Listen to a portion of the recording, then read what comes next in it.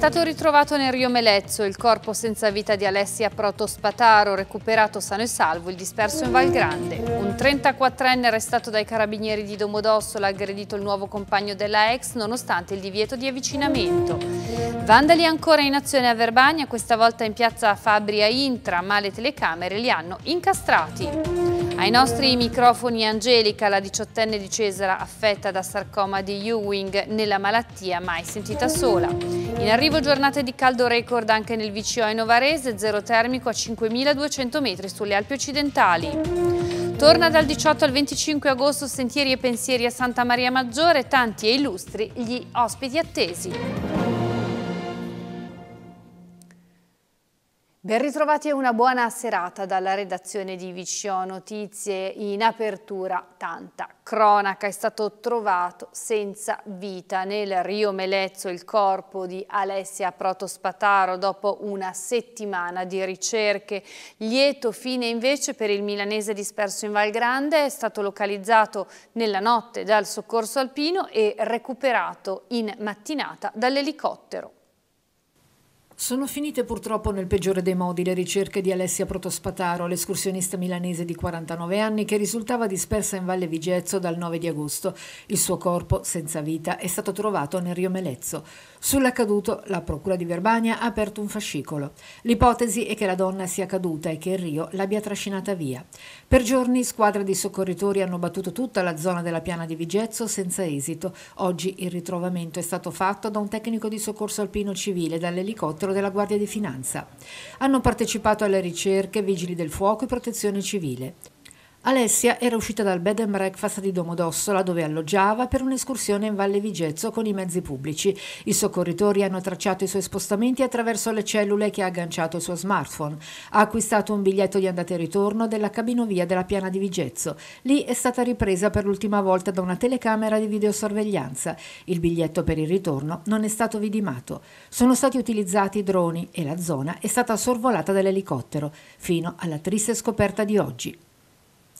Si è conclusa invece poco prima di mezzogiorno di oggi l'operazione di recupero di Carlo Vincenzo Dorta, ritrovato sano e salvo il 52enne milanese che era disperso in Val Grande. Le ricerche erano iniziate mercoledì mattina dopo che i familiari ne avevano denunciato il mancato rientro. Era partito da Ciconia il 14 agosto e si era perso.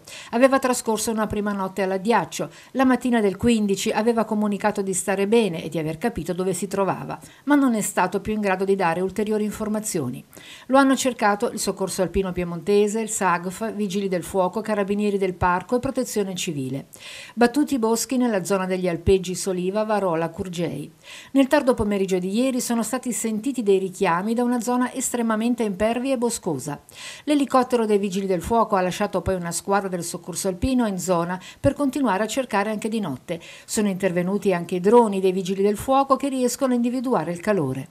L'uomo è stato individuato, ma non è stato possibile raggiungerlo in sicurezza con il buio. Grazie alle indicazioni fornite dalla squadra, questa mattina il servizio regionale di elisoccorso di Azienda Zero Piemonte lo ha raggiunto e prelevato con il verricello per riportarlo a valle, dove è stato valutato dall'equipe sanitaria che lo ha trovato in buone condizioni, nonostante le tre notti trascorse all'addiaccio. Arresto dei carabinieri di Domodossola in Valle Vigezzo. In manette un 34enne che ha aggredito il nuovo compagno della ex.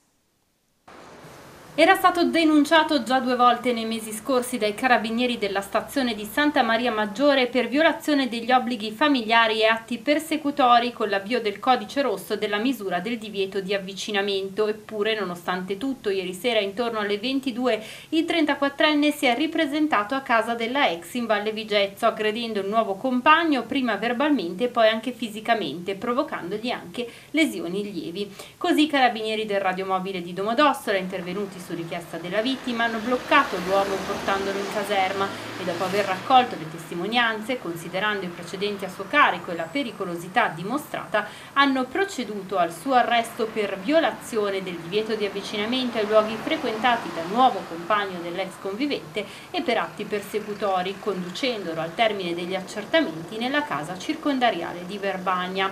Precisa l'avvocato di fiducia dell'arrestato Clarissa Tacchini, evidenzio che il provvedimento di non avvicinamento a meno di 80 metri era stato emesso a beneficio del nuovo convivente della ex compagna, non avendo mai avuto il soggetto comportamenti persecutori nei confronti della ex, oltre peraltro ad essersi verificati fatti in locali pubblici in Ossola, locali frequentati da entrambi.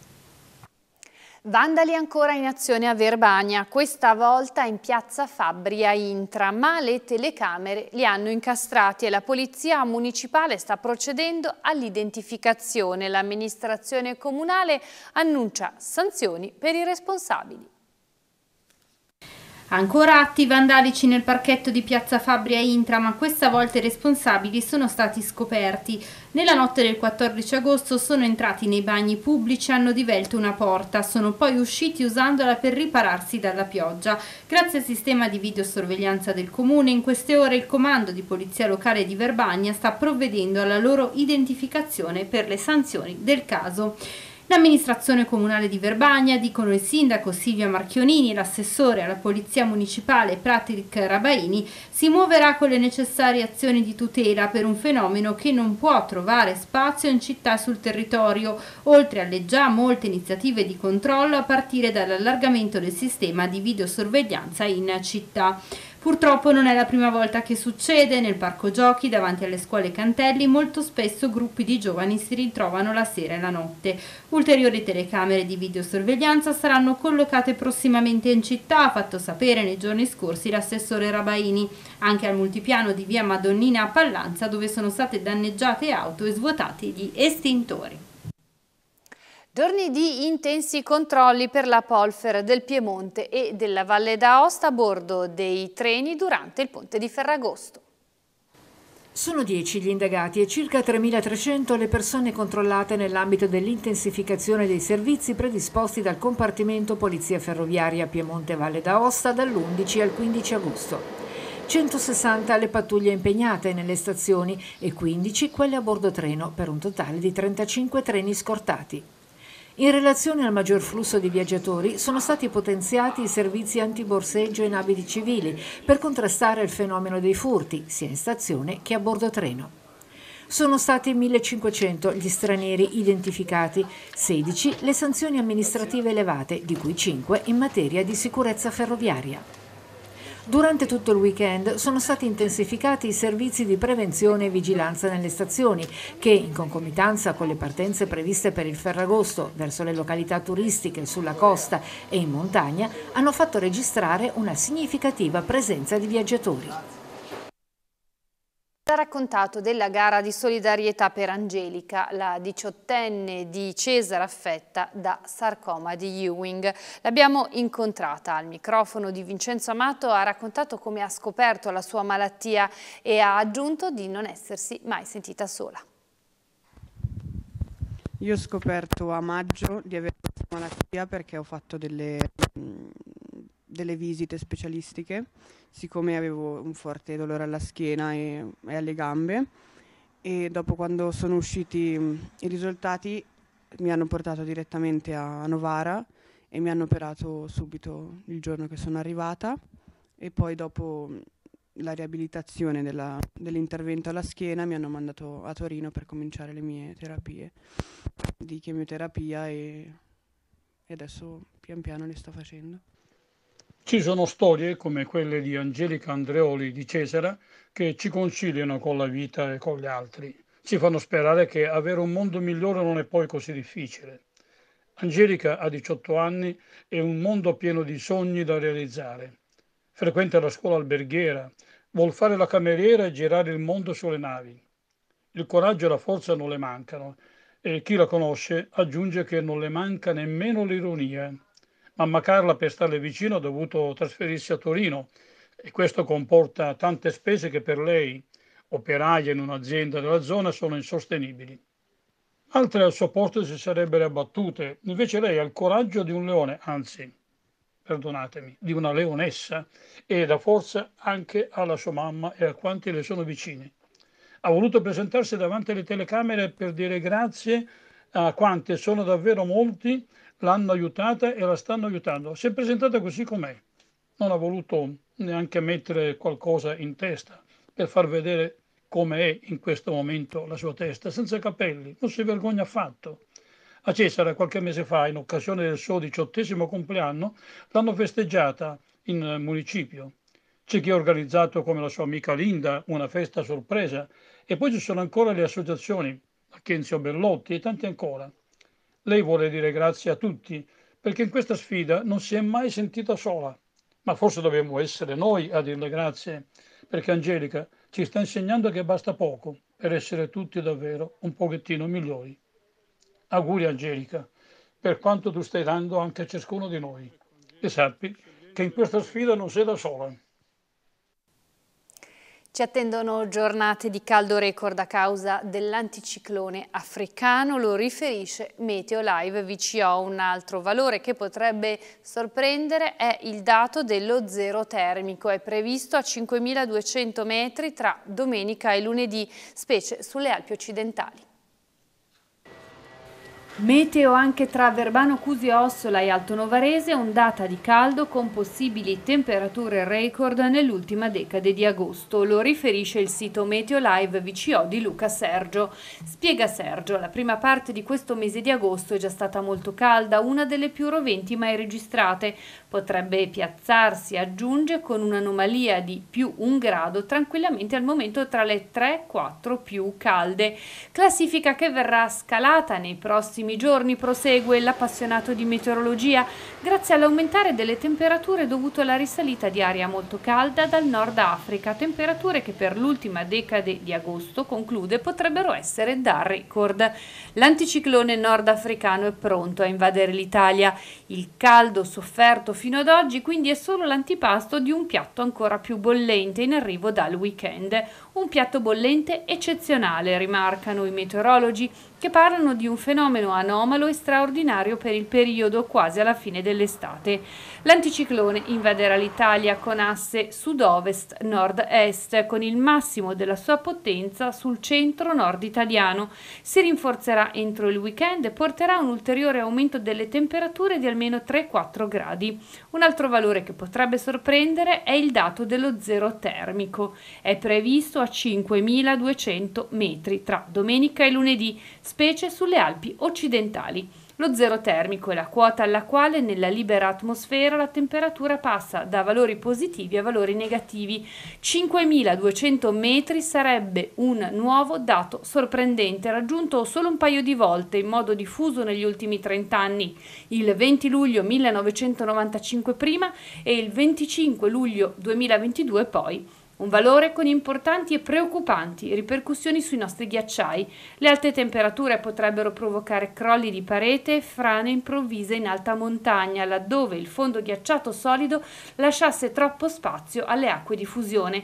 Sottolineano gli esperti uno scenario preoccupante. Almeno per dieci giorni dovremo monitorare il nostro territorio e la nostra salute. Dobbiamo prestare attenzione al rischio caldo come facciamo per il rischio alluvioni. Una notizia di interesse per i nostri artigiani è aperto da oggi lo sportello per le aziende artigiani piemontesi che intendono richiedere un contributo per partecipare a una fiera tra le 136 individuate dal bando, di cui 24 in territorio piemontese, durante il periodo di tempo compreso tra il 16 di ottobre e il 31 di dicembre 2023. Sono riconosciute le spese sostenute con l'ente fiere con l'eventuale allestitore esterno autorizzato dall'ente fiera. I termini per presentare la domanda sono dal 17 agosto fino a usarimento delle risorse disponibili e comunque non oltre le 12 del 16 di ottobre. L'importo del contributo deve essere compreso tra 2.000 e 5.000 euro. 675.000 euro sono così disponibili per gli artigiani che ne faranno richiesta. Le domande di contributo devono essere presentate esclusivamente tramite procedura informatica Findom accessibile sul portale della Regione Piemonte. Parliamo del progetto Valgrande Bike bocciato dal Parco Nazionale. Voleva la creazione di un itinerario cicloturistico ma anche un intervento di land art sul crinale del Piancavallone. Dieci statue di persone ad altezza naturale che si sarebbero consumate nel corso del tempo. Il Parco Nazionale della Val Grande ha bocciato, emettendo un parere negativo, il progetto Val Grande Bike, assetto della rete cicloturistica del territorio dell'Unione con interventi di integrazione e valorizzazione finalizzato all'incremento della fruizione sostenibile del territorio montano, presentato dall'Unione Montana Val Grande e del Lago di Mergozzo. Il progetto in questione riguardava l'istituzione di un itinerario ciclo escursionistico, l'adeguamento dei percorsi anche su tracciati di nuova realizzazione e un intervento di land art sul crinale del Piancavallone con l'installazione di 10 statue con figure umane in grandezza naturale. La relazione tecnica ha evidenziato che il progetto avrebbe comportato significative interferenze con l'integrità del sito, si legge nella nota ufficiale del Parco Nazionale, e con la conservazione degli habitat e delle specie, alcune delle quali di interesse comunitario, presenti nella zona di protezione speciale e nella zona speciale di conservazione del parco. Gli interventi avrebbero dunque rischiato di alterare l'unicità del paesaggio. In particolare sono state sollevate preoccupazioni riguardo all'erosione all'erosione del suolo, all'alterazione del patrimonio naturalistico e all'impatto sulla biodiversità causato dalla promozione degli itinerari cicloescursionistici, soprattutto in relazione all'utilizzo di biciclette elettriche, le cosiddette e-bike. La decisione, prosegue il comunicato, basata su valutazioni approfondite e allineata alle politiche di conservazione ambientale, con particolare considerazione delle recenti politiche europee incentrate sulla biodiversità e sullo sviluppo sostenibile sostenibile. L'ente parco sottolinea la priorità di tutelare il carattere naturale selvaggio dell'area protetta, preservando l'unicità del paesaggio e promuovendo la conservazione degli habitat delle specie presenti. La decisione è basata sul principio di precauzione, pur riconoscendo la necessità di implementare gli aspetti economici quando non sono in contrasto con la protezione ambientale, pone innanzitutto l'accento sulla tutela di quest'ultima. Il Parco Nazionale della Val Grande conclude la nota nel suo impegno a preservare l'ecosistema e la vita naturale con continua a lavorare per garantire una gestione sostenibile e rispettosa dell'ambiente, consentendo fruizioni e attività compatibili con le finalità istituzionali dell'area protetta.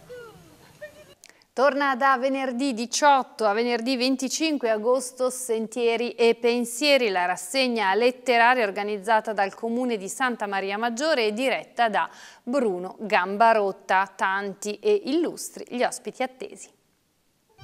Da Carmen la sorella ad Andrea Vitali, passando per Giore Dix, Lia Levi, Carlo Cottarelli e Massimo Cirri, e ancora tra gli altri Fausto De Stefani, Franco Berrino e Nando Dalla Chiesa. Saranno oltre 25 grandi ospiti che, accompagnati da spalle e moderatori, calcheranno il palco posizionato come sempre nell'incantevole parco di Villa Antonia. Si rinnova anche quest'anno un appuntamento fisso per l'estate culturale di Santa Maria Maggiore. Torna infatti da venerdì 18 a venerdì 25 agosto Sentieri e Pensieri, la rassegna letteraria organizzata dal Comune di Santa Maria Maggiore e diretta da Bruno Gambarotta dalla scienza ai diritti umani, dall'economia alla cultura fino a toccare i generi letterari più amati. Dieci giorni dunque per un variegato calendario di qualità per questa undicesima edizione del Festival Letterario nato nel 2013 sotto l'egida del Salone Internazionale del Libro di Torino ed oggi organizzato dal Comune di Santa Maria Maggiore con il sostegno e patrocinio di Regione Piemonte, con il prezioso contributo della Fondazione Comunitaria del VCO, della Fondazione Paola Angela Ruminelli, dell'Interreg PaesCH.it, e la collaborazione e il sostegno tra i molti del Parco Nazionale della Val Grande, di Borgate dal Vivo, della Fondazione Circolo dei Lettori, del Club Alpino Italiano della sezione Valvigezzo e del CSI Verbagna. New Entry del 2023 Sentire i pensieri, appuntamento online con approfondimenti, interviste e dibattiti che affiancheranno per la prima volta il festival. Anche quest'anno vi sarà poi il bookshop di Sentieri e Pensieri, il programma completo è online su www.santamariamaggiore.info sentieri. In apertura di pagina sportiva il calcio si è radunato anche l'Omegna e da parte dei dirigenti del sodalizio cusiano non sono mancate parole di solidarietà per i vicini del Bagnella interessati nei giorni scorsi da un incendio alle strutture del campo. Noi abbiamo perso dei giocatori, li abbiamo rimpiazzati con altri giocatori secondo me di, di livello, abbiamo messo dentro dei giovani dal nostro settore giovanile, dei ragazzi della Juniores, come avevamo detto l'anno scorso, che ci teniamo anche al nostro settore giovanile.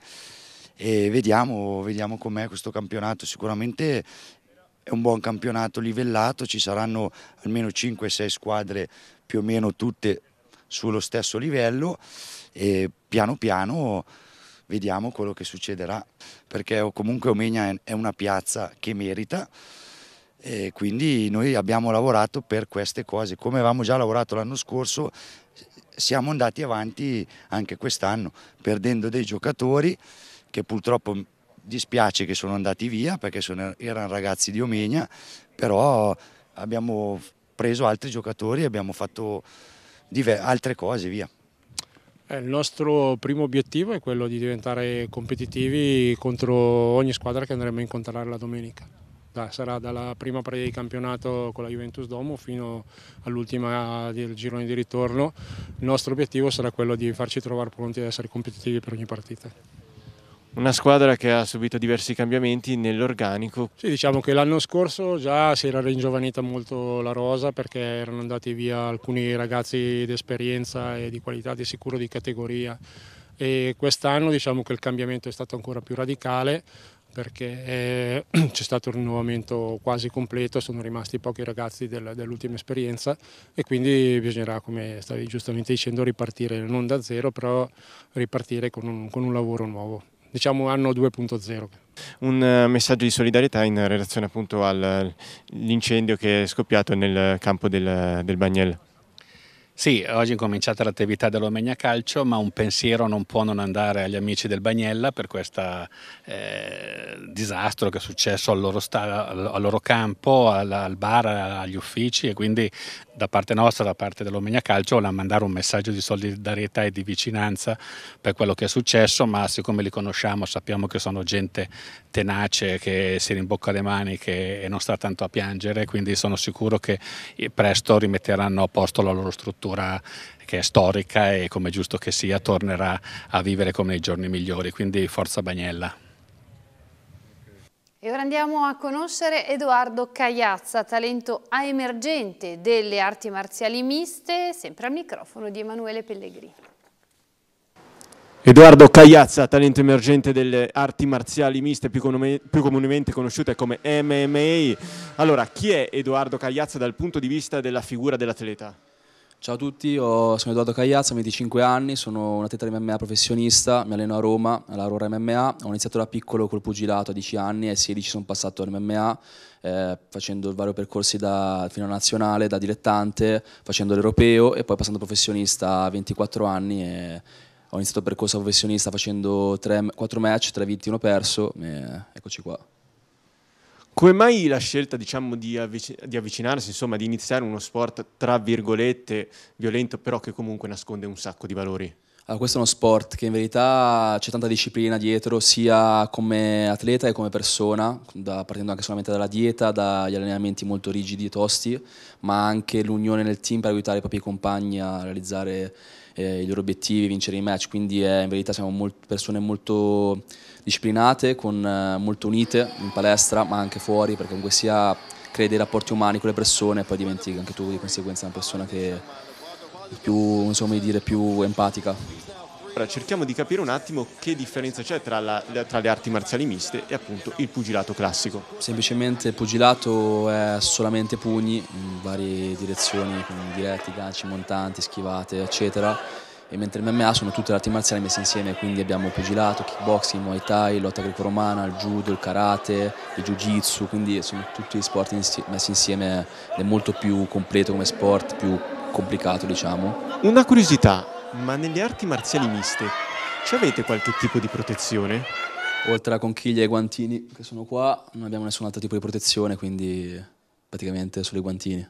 Per quanto riguarda i colpi, si può colpire dappertutto oppure ci sono dei punti appunto dove non si può andare a colpire? Da dilettanti i guantini sono più imbottiti, sono da 6-7 once e abbiamo i paratibia, mentre da professionista i guantini sono da 4 once e non si hanno i paratibie. I colpi da dilettante sono di pugni di gambe, non sono vietate le ginocchiate e le gomitate, poi sono le proiezioni, i strangolamenti. Non si possono tirare le leve alle ginocchia che vanno a rompere i legamenti, ma solamente le leve dritte che non vanno a danneggiare le ginocchia. Mentre da professionista possiamo colpire con le gomitate anche le ginocchiate, le leve alle ginocchia. Non si può colpire la nuca, la colonna vertebrale, non si possono mettere le dita nella bocca o negli occhi, attaccarsi ai guantini e per il resto si può fare tutto. Siamo in chiusura di telegiornale, vcoazzurratv.it, le nostre pagine social per tutti gli aggiornamenti. Grazie per essere stati in nostra compagnia e buona continuazione di serata.